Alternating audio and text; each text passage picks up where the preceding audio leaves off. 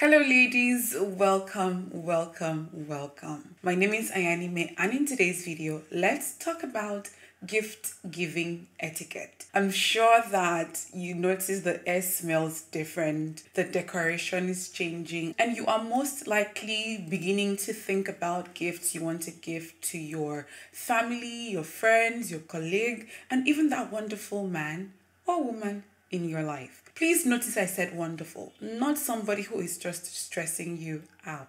If this is your first time, please subscribe because I empower you through videos on femininity, etiquette, and modern elegance. You are going to find yourself growing and improving one video at a time. But if you are already a subscriber, thank you so much for being a part of this community. In this video, I am going to share with you the etiquette you should observe when you're giving a gift, the etiquette you should observe when you're receiving a gift, and 15 gift ideas to get you started. Even though this video works during this holiday period, it still comes in handy later on in the future. So ladies, let's get into the video. The first etiquette you should observe when shopping for a gift, when considering a gift, is for you to be thoughtful. This is very important. Do not just buy a gift for the sake of buying a gift. You have to listen. Pay attention, ask questions before making any purchase. When you pay attention to somebody, listen to them, observe, or even go back to previous conversations and chats you had with them, you are likely going to find something that they've talked about, something they have desired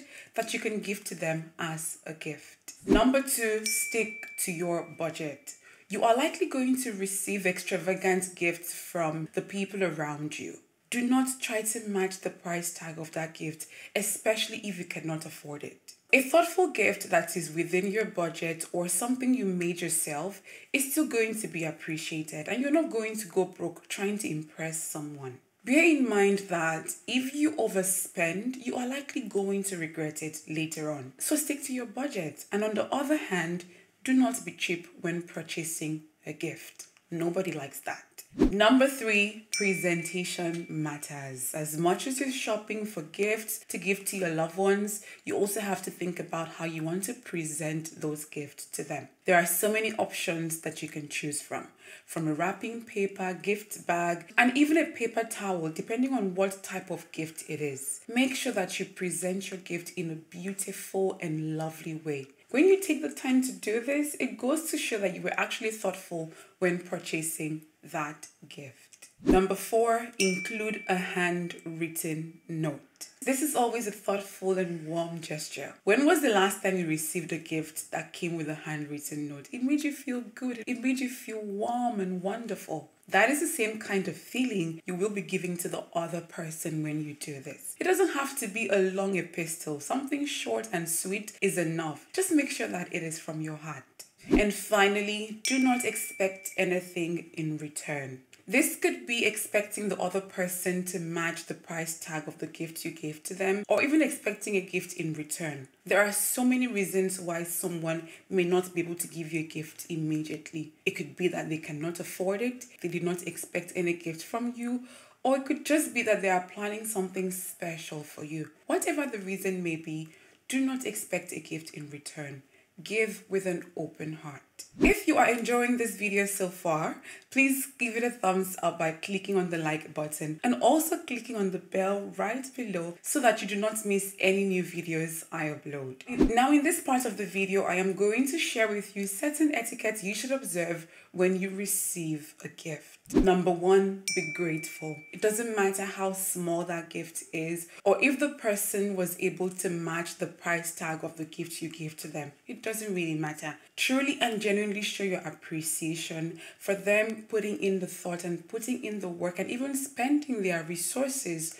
to give you something. Number two, don't apologize for not having a gift for them. And here is why. Once you start apologizing, you are likely going to ruin the moment. Simply show your appreciation, enjoy the moment, and you can later on plan on what you can give to them in return. Number three, still say thank you even if you do not like the gift. Not everyone will be able to shop for you, not everyone will be able to give you something that you truly, truly like. You have to understand this. So if you receive a gift that you really do not like, don't start mentioning the reasons why you don't like that gift. That is insensitive and impolite. Simply say thank you. And finally, send a thank you note. It could be an email, a text message, or even a proper handwritten note. But before you do this, here is my recommendation, okay? Think about how that gift was given to you and then respond in that same way. If it was a casual gift, then a, a text message or even a phone call will be okay. But if the gift was presented to you in a proper way, in a formal way, then consider a proper handwritten note. Now, this is the third part of the video where I will share with you 15 gift ideas to help you get started. I know that I am not going to be able to cover all the situation. That is why I want to hear from you too. After watching this video, share with me in the comment section all the gift ideas you believe we should all consider giving to someone special in our lives. Let's quickly run through the list. Number one, a gift hamper. This is very practical. You can purchase it in almost any supermarket right now, and it is something you can give to almost anybody on your list. Number two, a concert ticket. This is an ideal gift for somebody who enjoys this kind of activity, especially now that concerts will be popping up left, right, and center. You can consider giving a friend or even a romantic partner this kind of gift if they enjoy going to concerts. Number three, shopping gift card. I believe every woman enjoys shopping, and a gift card means you can go shop whatever you want without spending your own money. So, this is an ideal gift for a friend, for even a female romantic partner. Number four, Ankara or lace material. Personally, this is what I give to my mom. It is sort of a tradition with me. I like the idea of her making it into an outfit, and every time she wears it, she says a little prayer for me. This is a gift you can consider giving to your mom, your auntie, and even a friend too. Number five, Agbada material. I really don't know the proper name for this particular material. That is why I just called it Agbada material. So if you know the right name, please leave it in the comments. This is the material that men sew into an Agbada outfit or even the the up and down that they normally wear. I'll leave some pictures. This is an ideal gift for your dad, for your brother, for your partner, for a male friend. And don't forget, once they make it into an outfit, they will remember you every time they wear it. Number six, wristwatch. This is ideal for almost everybody. Just make sure that it is made with good metal that will not fade over time. Number seven, hat or walking stick. The hat works for either a man or a woman. Now, the walking stick has to do with age and even the person's personal style. But I believe that there are also there still gifts that you can consider giving to your loved one. Number eight, gift voucher. This covers a whole lot of scenarios from shopping to spa day, manicure and pedicure, year long iTunes or DSTV subscription,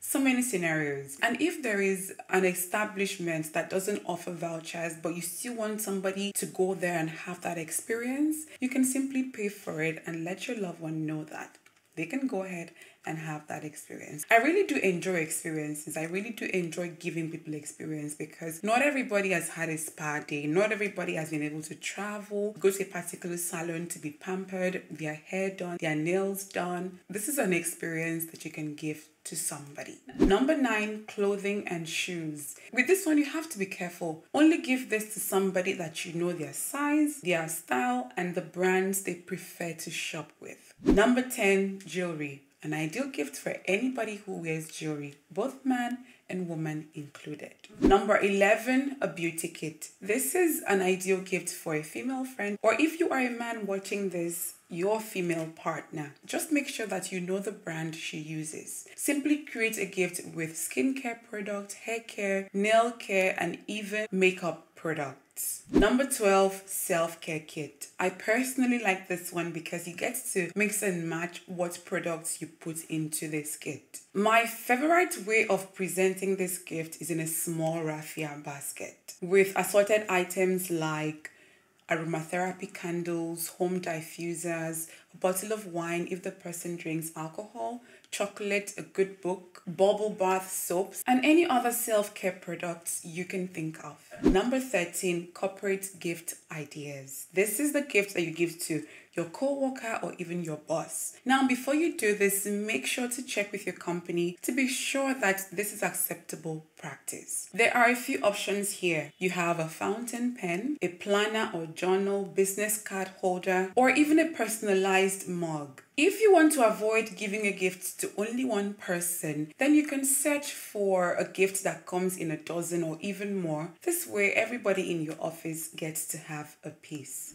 Now, the next gift idea gift for children. I believe they are the easiest to shop for because they have teddy bears, dolls, games, building blocks, writing pad, so many options. And finally, number 15. This is not a gift idea. This is a tip that I normally use when I am shopping for someone and I am going to share that with you. If after watching this video you are still a bit unsure, here's what you can do. Go on websites like Amazon, like Jumia, Konga and put in search terms like gift for her, gift for him, gift for children, gift for fathers, gift for mothers, and you are going to see a whole lot of options. I prefer using Amazon because I don't mind shipping things from outside the country. And if you don't mind this, then Amazon is your best bet. Trust me, you are going to be confused because you will see so many options. Another tip is when I am shopping for a romantic partner, one of my go-to websites is Mont Blanc. They have pens, journals, ties, cufflinks, luggage,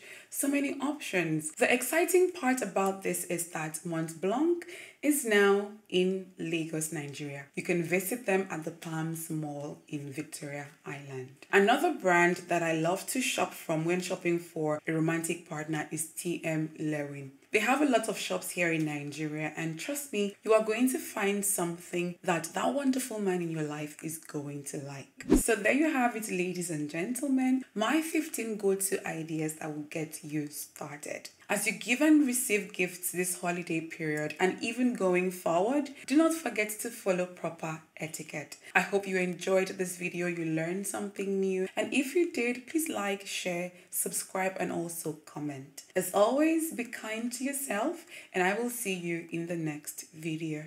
Bye.